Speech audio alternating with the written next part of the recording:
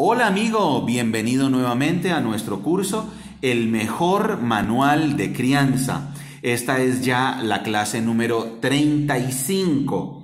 Estamos en nuestro gran tema Jesucristo, nombre sobre todo nombre. Esta es la parte 4 de este gran tema, Jesucristo, nombre sobre todo nombre.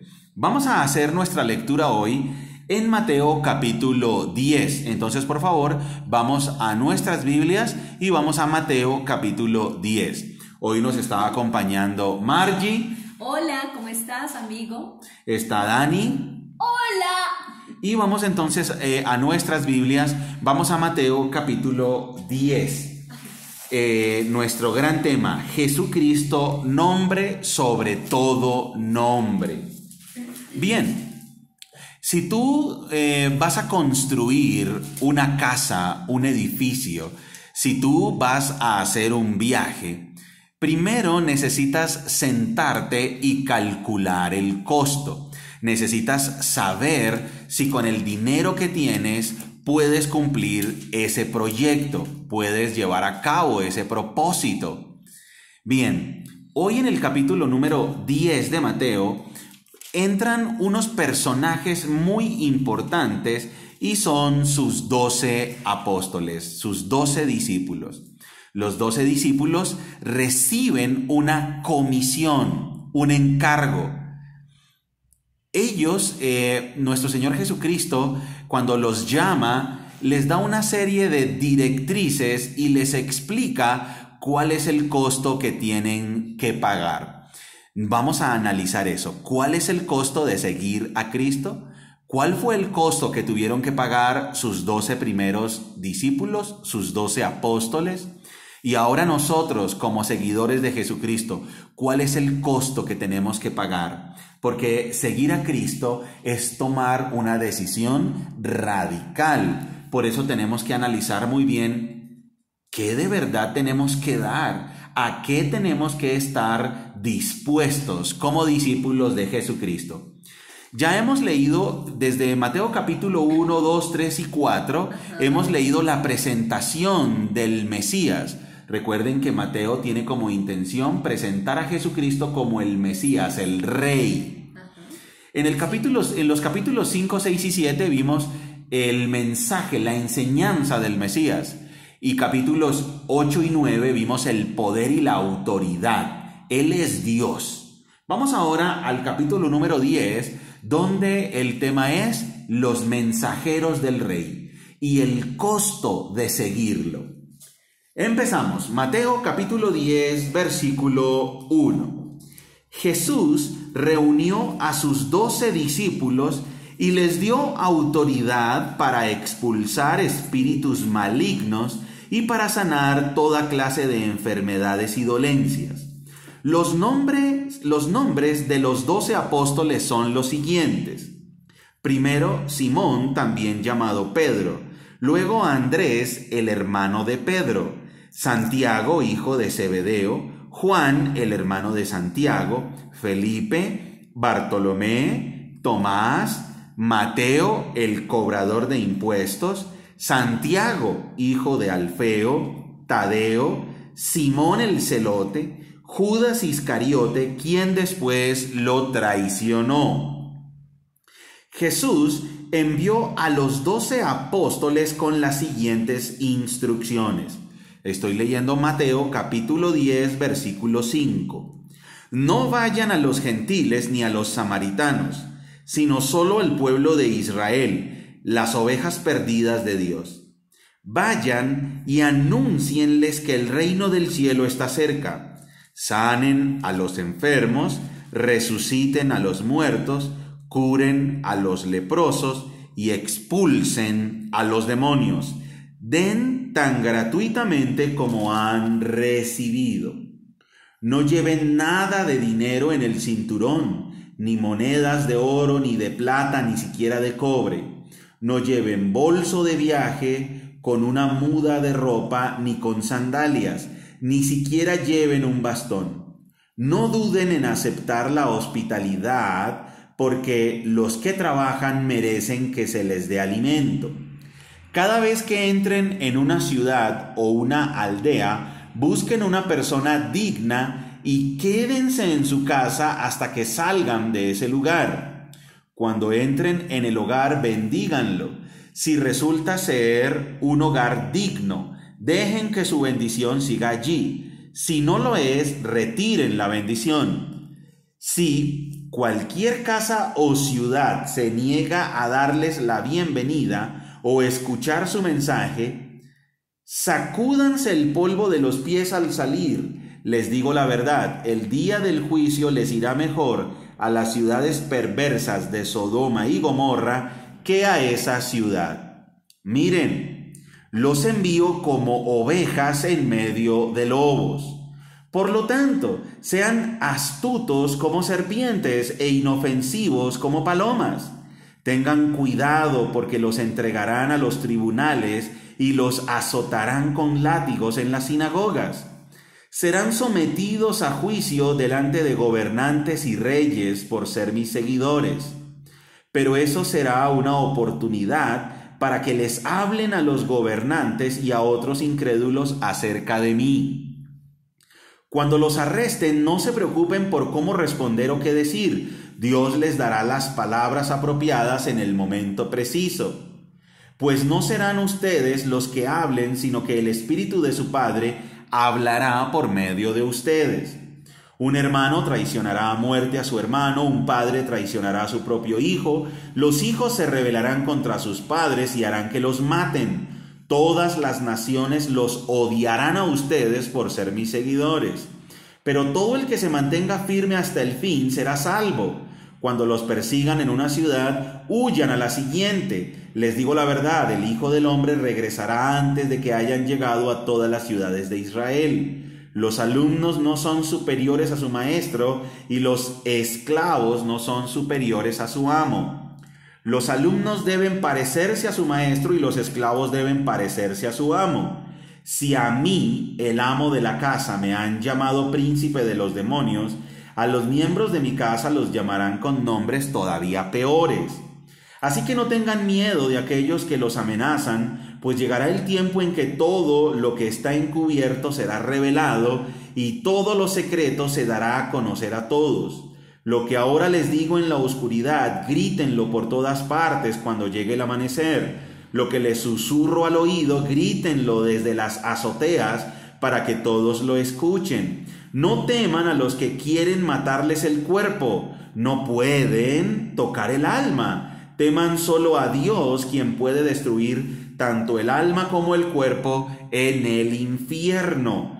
¿Cuánto cuestan dos gorriones? ¿Una moneda de cobre? Sin embargo, ni un solo gorrión puede caer a tierra sin que el Padre lo sepa.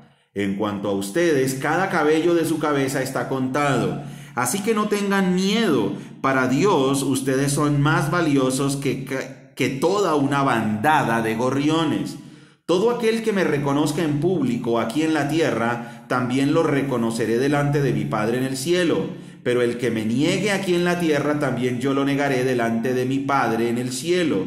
No crean que vine a traer paz a la tierra. No vine a traer paz, sino espada.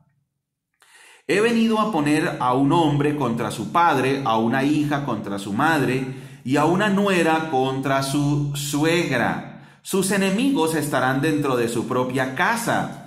Si amas a tu padre o a tu madre más que a mí, no eres digno de ser mío. Si amas a tu hijo o a tu hija más que a mí, no eres digno de ser mío. Si te niegas a tomar tu cruz y a seguirme, no eres digno de ser mío. Si te aferras a tu vida, la perderás. Pero si entregas tu vida por mí, la salvarás. El que los recibe a ustedes, me recibe a mí, y el que me recibe a mí, recibe al Padre quien me envió. Si reciben a un profeta como a alguien que habla de parte de Dios, recibirán la misma recompensa que un profeta. Y si reciben a un justo debido a su justicia, recibirán una recompensa similar a la de él. Y si le dan siquiera un vaso de agua fresca a uno de mis seguidores más insignificantes, les aseguro que recibirán una recompensa. Muy bien, hemos leído entonces Mateo capítulo 10 completo. En estos versículos, en los primeros versículos, en los versículos 1 al 15, encontramos a nuestro Señor Jesucristo enviando en una primera misión a sus doce discípulos.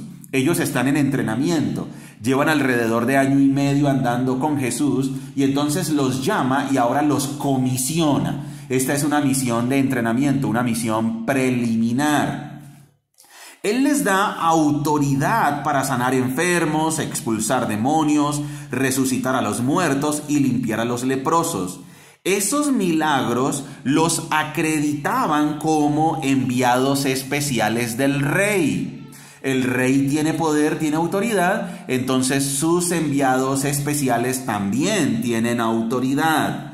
Estamos en la serie Jesucristo, nombre sobre todo nombre. Tiene poder sobre los demonios, tiene poder sobre la enfermedad, tiene poder sobre la muerte, tiene poder sobre la naturaleza y ahora ese poder se lo transmite a sus doce apóstoles.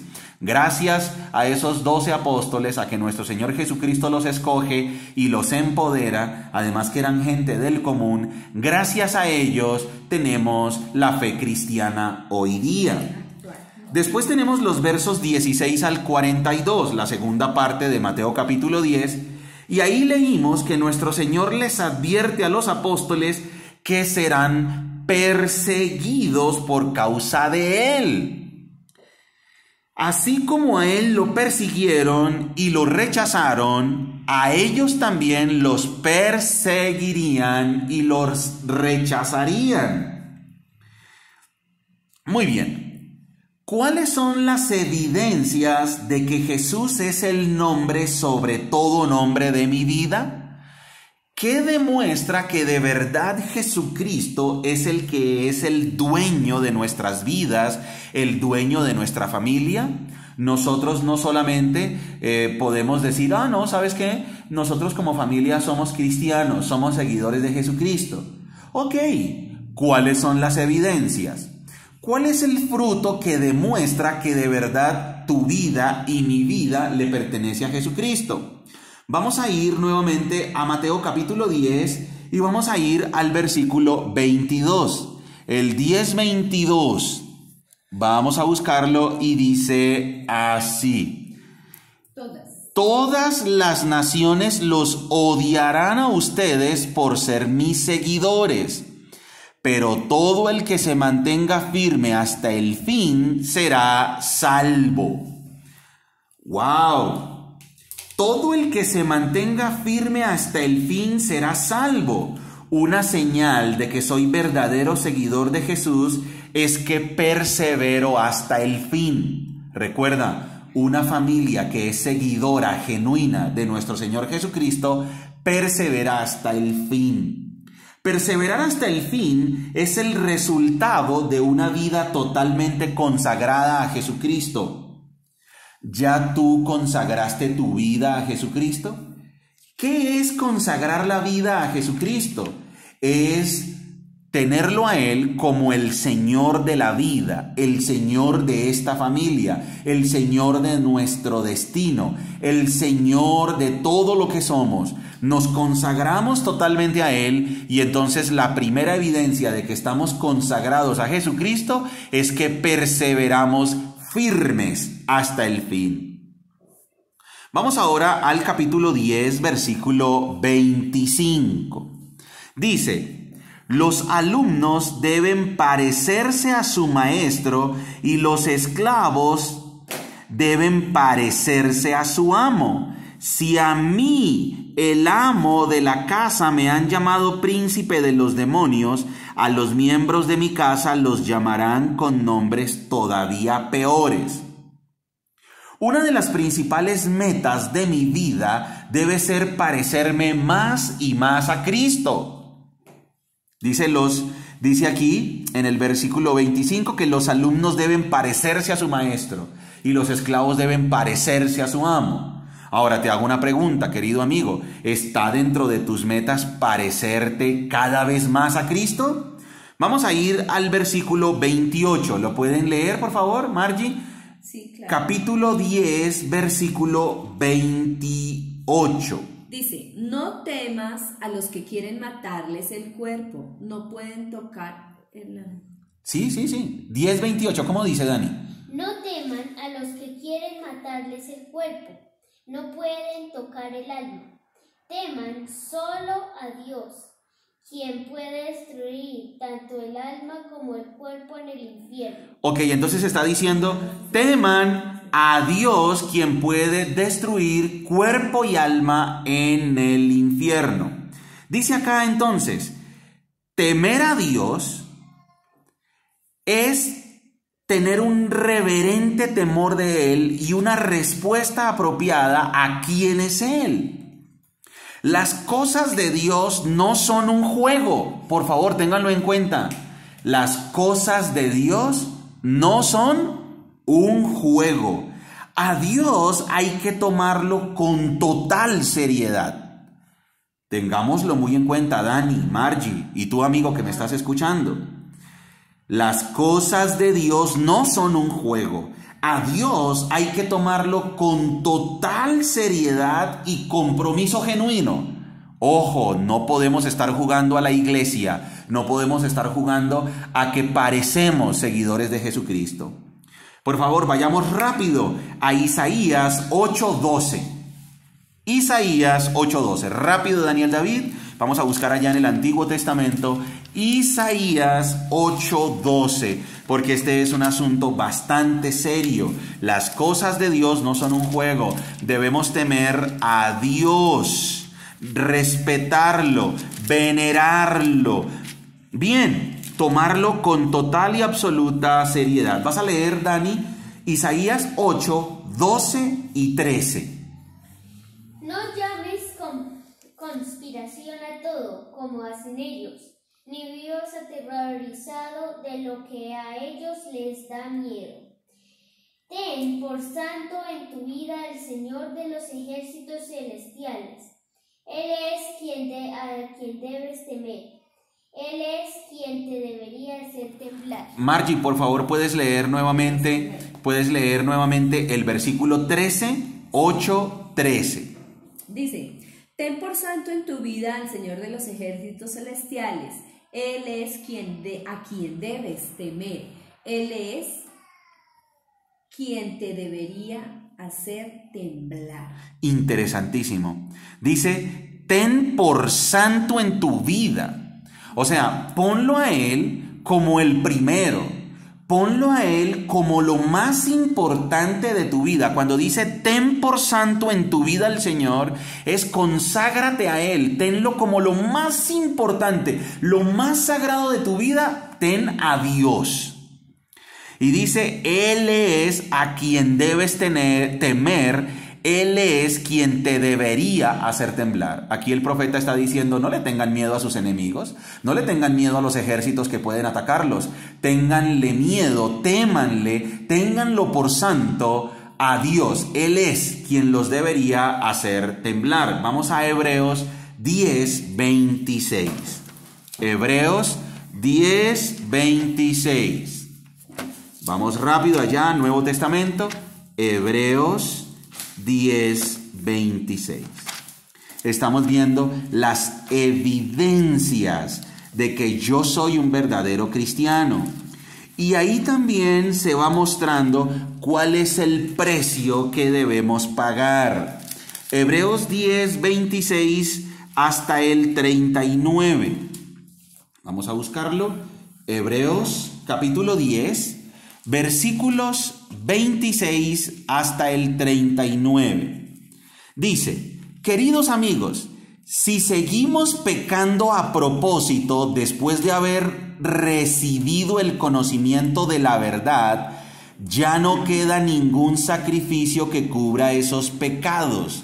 Solo queda la terrible expectativa del juicio de Dios y el fuego violento que consumirá a sus enemigos, pues todo el que rehusaba obedecer la ley de Moisés era ejecutado sin compasión por el testimonio de dos o tres testigos. Piensen pues cuánto mayor será el castigo para quienes han pisoteado al Hijo de Dios y han considerado la sangre del pacto, la cual nos hizo santos como si fuera algo vulgar e inmundo, y han insultado y despreciado al Espíritu Santo que nos trae la misericordia de Dios. Pues conocemos al que dijo, yo tomaré venganza, yo les pagaré lo que se merecen. Y también dijo, el Señor juzgará a su propio pueblo. Y miren el verso 31. Es algo aterrador caer en manos del Dios vivo. Acuérdense de los primeros tiempos cuando recién aprendían acerca de Cristo. Recuerden cómo permanecieron fieles aunque tuvieron que soportar terrible sufrimiento. Algunas veces los ponían en ridículo públicamente y los golpeaban. Otras veces ustedes ayudaban a los que pasaban por lo mismo. Sufrieron junto con los que fueron metidos en la cárcel y cuando a ustedes les quitaron todos sus bienes lo aceptaron con alegría. Sabían que en el futuro les esperaban cosas mejores que durarán para siempre.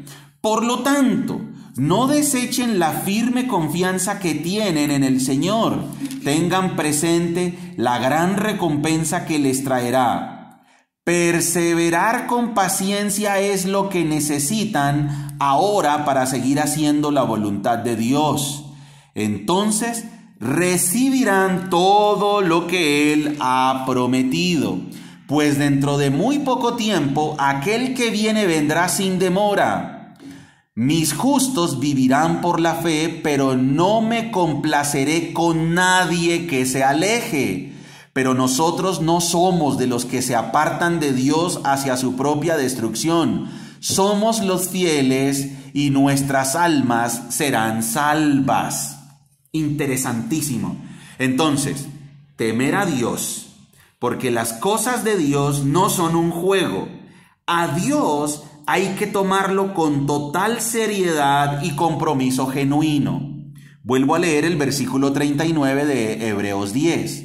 Pero nosotros no somos de los que se apartan de Dios hacia su propia destrucción. Somos los fieles y nuestras almas serán salvas.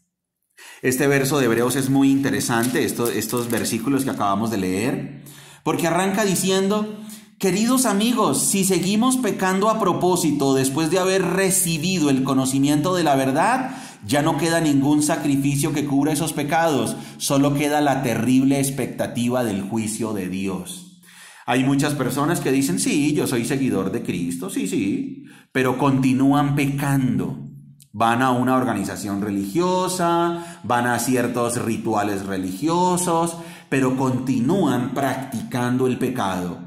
Ojo, aquí la palabra de Dios hace una advertencia y dice el verso 31, es algo aterrador caer en las manos del Dios vivo. Con Dios no se juega. Los discípulos, los doce apóstoles lo tenían en cuenta y por eso nuestro Señor Jesucristo está diciendo, miren el costo que tienen que pagar, miren, es una decisión seria, es muy difícil, tienen que tomarla eh, con total y absoluta seriedad, compromiso y conciencia de lo que están haciendo. Vamos a ir a Mateo 10:32. Nuevamente, nuestro texto, Mateo capítulo 10, versículo 32. Lo leo, dice así, todo aquel que me reconozca en público aquí en la tierra, también lo reconoceré delante de mi Padre en el cielo. Esta es una señal de, que yo le pertenezco a Cristo. Vuelvo y lo leo. Todo aquel que me reconozca en público aquí en la tierra, también lo reconoceré delante de mi Padre en el cielo. Esto demuestra que Jesucristo es el nombre sobre todo nombre de mi vida. Yo lo reconozco en público. No puedo dejar de testificar de Cristo. Él es el centro de mi vida.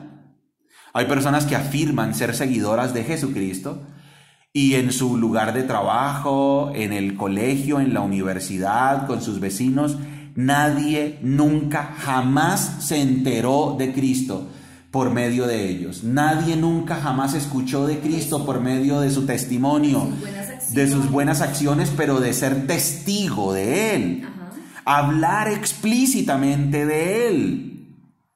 Si yo no reconozco a Cristo en público, delante de los demás, dice claramente este versículo que Él tampoco me reconocerá delante de su Padre. Jesucristo es el centro de mi vida. Jesucristo es el que ha hecho milagros en mi vida. Jesucristo fue el que me escogió. Jesucristo me salvó. Jesucristo me redimió. Jesucristo es el Señor de todo lo que yo soy. Es imposible dejar de testificar de Él. Yo no puedo callar quién es Cristo en mi vida. Vamos a ir a Romanos capítulo 10. Un poquito adelante está Romanos Romanos capítulo 10 y vamos a leer Romanos capítulo 10 versículos 9 y 10. Dice la palabra de Dios. Si declaras abiertamente que Jesús es el Señor y crees en tu corazón que Dios lo levantó de los muertos, serás salvo. Miren esto detenidamente. Si declaras abiertamente que Jesús es el Señor y crees en tu corazón que Dios lo levantó de los muertos, serás salvo. Verso 10. Pues es por creer en tu corazón que eres declarado justo a los ojos de Dios y es por declarar abiertamente tu fe que eres salvo. Esta es una evidencia de que yo le pertenezco a Cristo. Lo confieso delante de los demás. Bien, vamos a ir ahora con Apocalipsis 3. Apocalipsis 3, verso 14 al 22. Vamos al último libro de la Biblia. Vamos a Apocalipsis 3, 14 al 22. Muy bien, vamos a leer entonces Apocalipsis capítulo 3 versículos 14 hasta el 22. Escribe esta carta al ángel de la iglesia de la Odisea. Este es el mensaje de aquel que es el amén, el testigo fiel y verdadero, el principio de la nueva creación de Dios. Yo sé todo lo que haces, que no eres ni frío ni caliente, como quisiera que fueras lo uno o lo otro, pero ya que eres tibio, ni frío ni caliente, te escupiré de mi boca. Tú dices, soy rico, tengo todo lo que quiero, no necesito nada. Y no te das cuenta de que eres un infeliz y un miserable, eres pobre, ciego y estás desnudo. Así que te aconsejo que de mí compres oro, un oro purificado por fuego, y entonces serás rico Compra también ropas blancas de mí, así no tendrás vergüenza por tu desnudez, y compra ungüento para tus ojos, para que así puedas ver. Yo corrijo y disciplino a todos los que amo, por lo tanto sé diligente y arrepiéntete de tu indiferencia. Mira, yo estoy a la puerta y llamo. Si oyes mi voz y abres la puerta, yo entraré y cenaremos juntos como amigos. Todos los que salgan vencedores se sentarán conmigo en mi trono, tal como yo salí vencedor y me senté con mi Padre en su trono. Todo el que tenga oídos para oír debe escuchar al Espíritu y entender lo que Él dice a las iglesias. Muy bien, mi querido amigo, hemos terminado la clase número 35 del mejor manual de crianza y estamos reflexionando en el capítulo número 10 de Mateo. Las evidencias de que Jesús es el nombre sobre todo nombre de mi vida. Las evidencias de que yo le pertenezco a Jesucristo. Persevero hasta el fin. Yo le pertenezco a Cristo. Dios no es un pasatiempo para mí. Él es el centro de mi vida. Y yo testifico, soy fervoroso. Soy un fervoroso seguidor de Jesucristo. Espero, amigo, que puedas reflexionar en estas verdades profundas y que tu familia sean genuinos seguidores de Jesucristo. Y recuerda que somos familias que se enfocan en lo importante. Adiós.